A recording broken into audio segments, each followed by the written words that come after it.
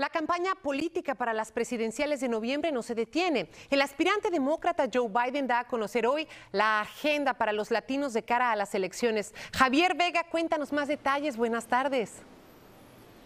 Buenas tardes, felicidad. La campaña del demócrata Joe Biden finalmente, finalmente se enfoca en los latinos y anuncia la que será su agenda para la comunidad hispana. Tema importante, el de inmigración, donde se plantea prácticamente revertir lo que ha hecho la administración Trump en materia de asilo, la regla de carga pública, terminar con la separación familiar y el programa Permanecer en México.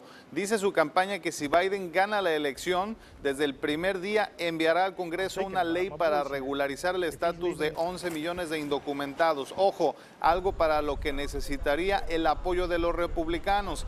Eso, además de revisar el TPS, extenderlo a los venezolanos y restaurar el programa DACA en favor de los Dreamers. La agenda incluye también temas de economía, de salud, educación y de combate al crimen. Veremos, veremos si esto le alcanza a Biden para convencer a los latinos, donde según las encuestas tiene un problema de entusiasmo. Y es que en todos los sondeos el ex vicepresidente se encuentra por detrás de los números que a estas alturas tenía Hillary Clinton en la elección pasada entre los votantes hispanos. Felicidad.